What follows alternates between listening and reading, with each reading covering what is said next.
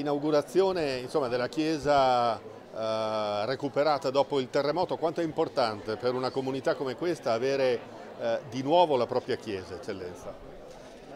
La chiesa è una casa per tutti e di tutti, è un riferimento importante per fare comunità, quindi riaprire la chiesa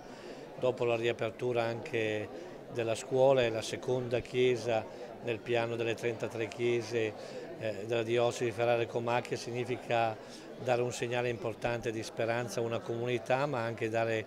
eh, un segno importante per ricostruire un tessuto che era stato fortemente segnato dalla ferita del territorio eh, con il terremoto del 2012. Nel complesso della diocesi a che punto siamo dal punto di vista degli edifici religiosi?